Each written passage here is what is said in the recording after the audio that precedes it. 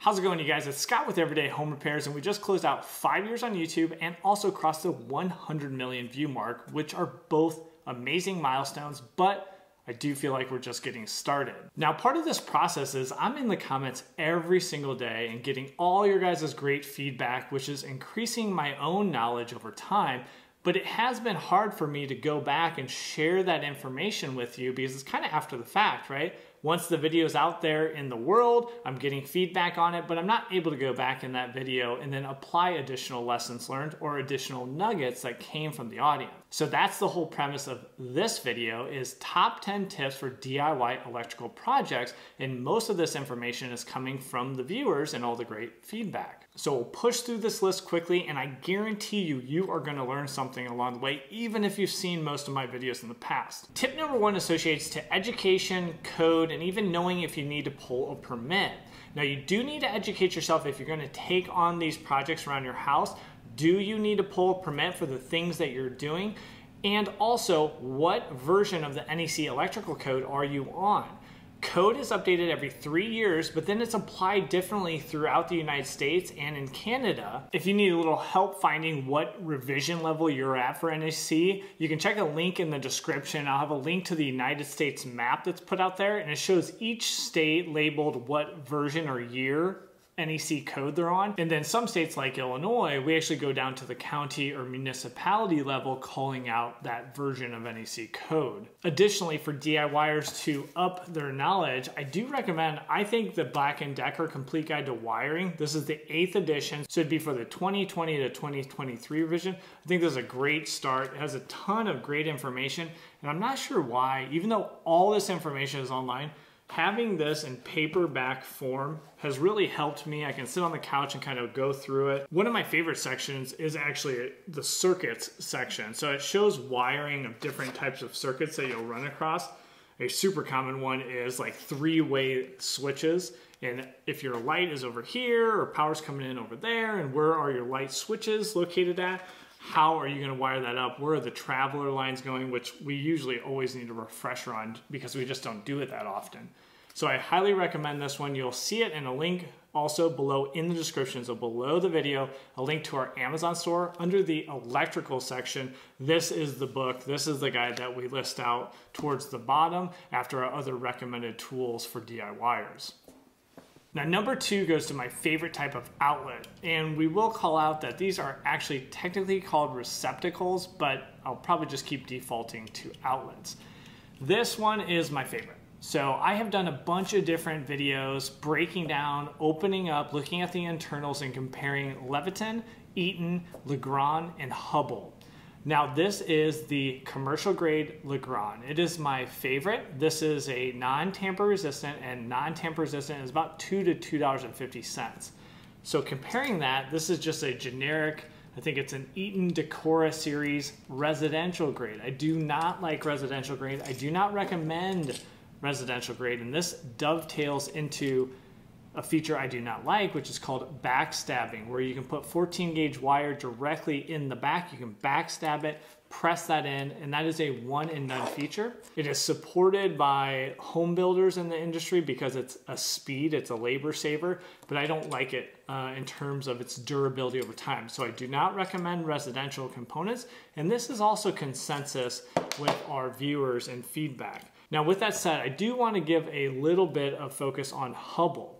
Hubbell is a great brand, and in terms of the brand that's brought up the most by professionals, licensed electricians, master electricians in my comment section, Hubbell. Hubbell is always brought to the highest standard. The thing about Hubbell and why I don't recommend it as much is because I go to the Home Depots, the Lowe's, the Menards in my area in terms of getting my components, and Hubbell's not carried by any of those. Hubbell is more of your supply house type of brand. So that is a electrical supply house really serving the professionals in your area. So you would have to be comfortable going in there, working with them, and usually they will not have what you need in stock. Not always, but at least in my area, they don't have a ton of things in stock. So you'd have to know exactly what you want, put in the order, and they usually can get it next day, but it's just one more step in the process. So if you really want to step up to that, do investigate Hubbell, and we'll actually talk more about a Hubbell component, which is my go-to in a couple of tips. Now, number three is a quick one, and that is just be a little cautious when you're upgrading your light fixtures. So this is an integrated LED ceiling light. It's super thin. There is some convenience to this from a weight and just the overall profile, the thickness of it. But when we upgrade to integrated LEDs where the lights are integrated, the light emitting diodes, the LEDs are usually in a ring, that's what's providing our light. There's no bulbs. This is okay for a while, but let's say you're getting eight to 10 light fixtures to update the look of your house, you're putting those throughout your ceiling, and then in two years down the road, those start to fail. The challenge is these are gonna be a certain color, these are gonna be a certain design. So two years down the road, are you gonna be able to find the same style, the same color to replace that so the look is all the same? Or are you gonna have to start thinking through replacing them all again to get the same look? These are the challenges with some of these integrated, in addition to brightness. You're not able just to get a new light bulb and change the brightness. Some of these you're able to change the Kelvin scale, which will change the warmth of the light. Is it a 2700 Kelvin yellow warm light or a natural light to the blue scale of a 5000 Kelvin?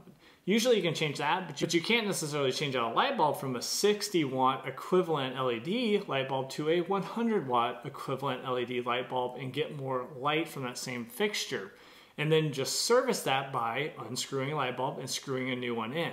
I'm very wary of these type of light fixtures in my rentals because if I have simple lights going out, no longer is it changing a light bulb, it's actually changing a light fixture. So just keep that in mind while you're shopping for vanity lights and ceiling lights and fans because a lot of them are all going integrated nowadays. So tip number four associates to a very common piece of feedback and that is electrical tape. This is 3M Super 33. This is the go-to. This is the original electrical tape, the creators of electrical tape. And that is, do you use this to wrap outlets or light switches when you're installing them? And maybe even on wire nuts. That is a common piece of feedback. You did everything correctly except for you didn't wrap the outlet. That's something that I hear quite often. So I've made a video on this in the past. I've asked it in polls a couple times. In a poll I just put out yesterday, over 5,000 people gave feedback. And if we take out the 10% of people that say, hey, I don't do electrical work, you're somewhere around two out of three say they do not use electrical tape to wrap outlets or light switches, and one third says they do. Now, if you have a metal box, this is kind of the one exception that I give. If I have a tight one gang metal box and a large GFCI outlet, okay, then I might do a couple wraps with electrical tape, but other than that, I'm really not using it. That is similar feedback that I get in the comments of those type of polls, and that is, well, if I'm doing it in a metal box, yes, I will, but plastic, no way. Number five is just calling attention to if you're living in a manufacturer or a mobile home, or maybe family members are, they probably have these things called self-contained devices. So this is an outlet, it is self-contained. It's basically the outlet and the box in one. It's self-contained. And, and the way this works, the Romex actually comes in the back. You strip off the insulation, you place your hot, neutral, and ground in the appropriate lanes and then you're supposed to press it down with a specialty tool where the spades will actually cut the insulation and make contact with the two conductors in the ground man, this is just not my favorite design. It is approved, it is allowed, and it's still being used today. So if you have a manufactured mobile home, I try to swap those out sooner rather than later because it's just, this is definitely prone to failures. I've had one fail in a manufactured home that I had purchased in the years past where they plugged a griddle on the countertop into that outlet and just fried the outlet. Kind of a dangerous situation. So self-contained devices, in manufactured and mobile homes, just try to stick away from those. Tip number six is investing in some better tools. So if you're going through your house, you're updating your house, or you got a big project coming up, you feel confident taking that on, you know you can do it safely, you have the knowledge, get some better tools. And they don't have to be expensive. So I always have an outlet tester. This is a simple one made by Klein Tools with your GFCI test button uh, integrated in. Then I have my non-contact voltage tester, the NCVT-3P. Specifically, I like the 3P by Klein Tools. It has a light on it, comes in super handy when you're turning off the power. my ECX screwdrivers, which is that hybrid screwdriver I've talked about on the channel before. It fits perfectly into your terminals and it combines the best of all worlds, a Robertson screwdriver and also a slotted or flathead screwdriver to make sure you can get the additional torque when securing your wires to your outlets. Highly recommend. And then stepping it up to some nice wire strippers. These I purchased over a year ago and they are made by a company called Knipex and they are a hybrid wire stripper. So they have those broad jaws in the front for twisting wires and kind of serving the purpose as your Kleins or your linesman's pliers. I'm not getting these out very often anymore with these hybrid wire strippers. So these are a little expensive, but man, they're nice single hand operation with the locking scroll wheel here and just are a really nice set of wire strippers that are gonna help you out on your projects. So number seven goes into making, again, an investment, and that is with a outlet that's becoming more and more common in our homes, and that is a NEMA 1450. This is a 240 volt, four prong, very common for electric car charging. In 2021, about 3% of all car sales in the United States were electric, fully electric cars. In 2022, that has jumped to 6%, and I don't think that trend is stopping anytime soon. So what that means is more of us are gonna need an outlet like this in our garage to effectively charge our cars and do that in a reasonable amount of time. With that said, this is not something you wanna cheap out on. I've done two installation videos and in both those videos, I've installed like a 10 to $15 NEMA 1450, and that was a mistake. You want the best materials and the most robust design on an outlet like this. I've seen many examples of heat and failures here at the screw terminals. On some of these cheaper models like this one, you really, a lot of people would probably install that with a Phillips head, and you are not gonna get the appropriate amount of torque needed to hold that six gauge wire in there per the design of the manufacturer. And yes, you do need a torque screwdriver to make sure you're getting the manufacturer specified torque. This is something I invested in this year just to make sure on this type of application I was getting the right amount of torque. But specifically, from the viewers, you guys gave me feedback and said I need to upgrade to a Hubbell, but not just any Hubbell, the HBL 9450A. So I went out and I got one. It's about $75 and compared to about $15. So you are really stepping up. But as soon as you take it out of the box, you really feel and you can see it's just a whole nother level of quality. And what I like the most is on the back when you are actually torquing down your wires, your six gauge wires, one, you could start them out by getting them torqued down with a 316 Allen key. So you're gonna be able to get a lot more torque and then you can use your 316 Allen bit on your torque screwdriver to finish that off. One additional thing to call out, remember, the wires here are gonna be stranded. So if you take on this project, do it safely. And also when you're torquing that down, you do need to work that wire and do multiple cycles of torquing down because if you just torque down and you do not work that wire, it can come loose, start generating heat, and cause an issue in your house. So be careful if you're taking on that project, or more likely, if you're hiring it out, call out exactly the HBL 9450A for the exact outlet that you want for that installation. Now, number eight goes into one of the best upgrades I think you can do to, especially a dark space, and that is the small six inch LED can lights are wafer lights because they're only half of an inch thick. Why are they half of an inch thick? Because no longer when we're spacing these out throughout our living space, do we have to worry about where those trusses are in your roof line, right? Because you used to have to put these big old can lights in the middle and you definitely couldn't be hitting any of your trusses and that limited what you can do. Now, since they're only half of an inch thick, you actually don't have to worry about that because even if you're just cutting out the drywall, that is enough thickness for these to attach these small tabs and secure to your drywall. And then you have the integrated junction box that then you'll daisy chain together. Now, this is integrated LEDs, and I told you before to avoid those, or at least that I was trying to avoid those. So why are these okay? One, the design, right? So almost every brand and every maker of this standard six inch and also standard four inch pretty much has this white border and then just this lens on the inside. So it's gonna be much, much, much easier to match in the future if you need to install a whole new unit because one of those failed on you. So the chances of matching are gonna be much better. And two, I actually do get extras for these. So I have a couple extras on any of my projects. I try to put those in the closet if I'm selling a home or if it's my own rental or my own home, I store those away just in case I'll need them later on.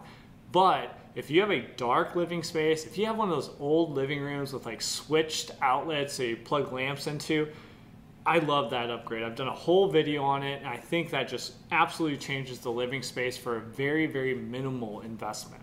And then number nine goes into kind of getting creative. So if you want to add an additional outlet to your living space, maybe you want to put a little charging station in the corner like I did on one of my Airbnbs, and maybe you don't have access to your attic, or maybe no access below. Maybe you're on a slab, a concrete slab.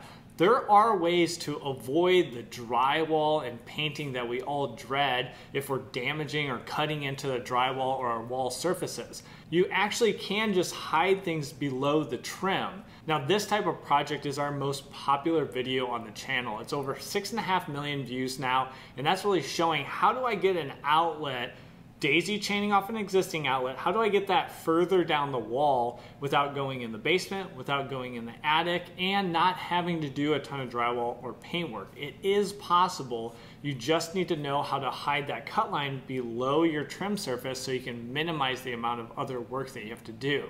And then number 10, you probably guessed it if you haven't heard it already in the list and you watch any of my other electrical videos, and that is Wago lever nuts. Instead of wire nuts, I just think these Wago lever nuts are perfectly suited for DIYers. Things like this, where I need some temporary lighting, I use the Wago inline splices. So I'm able to connect that up with a neutral and my hot side, connect it up quickly. Now I have a 100 watt LED bulb on a socket giving me light to a space that I'm working on. And then when I'm done, I just take those right off and then I just leave those in my truck so I'll have it whenever and they're completely reusable and incredibly convenient. I think they shine in a lot of different electrical applications, but if you have a light, a ceiling light, a fan, anything overhead, a vanity light where you're trying to hold on to the fixture and also wire something together, especially if you're bringing three wires or more together, man, Wago lever, there's no comparison. The likelihood of you getting a solid connection, secure, no issues in the future with a Wago lever nut is infinitely higher compared to a wire nut, especially for us DIYers that maybe don't have all the skill set and all the reps of using those wire nuts and knowing some of the tricks of the trade. Now I carry these with me in a Milwaukee pack-out setup. I carry two wire, three wire, five wire, and then those inline splices, the Wago 221. So the 221 lever nuts 2401. That is the inline splice. And it's actually pretty new in the US that you can get that. One point of confusion. You can look at these three wire, both Wago 221, and there's a considerable difference in size. The smaller one is most likely what you want. So this will be approved 24 gauge wire to 12 gauge wire. So it's gonna meet the vast majority of what you're doing. And it is much, much smaller. And then this larger one is the Wago 221613 and it goes to 10 gauge. So it is much, much larger. So really for most of us, we're looking to get the 413s the 412s, those would be the 2Rs, and the 415. And no, Wago actually doesn't sponsor a channel. This is just how much I believe in these things. I think they're awesome for DIYers. When I switched, I never turned back, and that is what I stock, and I just have them for any of my projects. You'll find a bunch of different kits that are great to start off over in our Amazon store. And actually, there's one with the two wire, three wire, five wire, and that inline splice. It has all four of those in the 12 gauge size that you need. And that'd pretty much be a perfect way to start off and see if you like Wagos as much as I do. All right, so we covered a ton of ground. One, just thank you guys. Thank you guys for the support. If you're still watching, I really appreciate your support. And here is a link to the full playlist. All those different electrical videos we talked about. Many, many times I said, oh, I did a video on that, or oh, I did two videos on that. This electrical playlist, you'll be able to scroll down through and see all those videos if you need anything for your reference. So thanks for joining me on this video. Thank you for all the support and we'll catch you on that next video. Take care.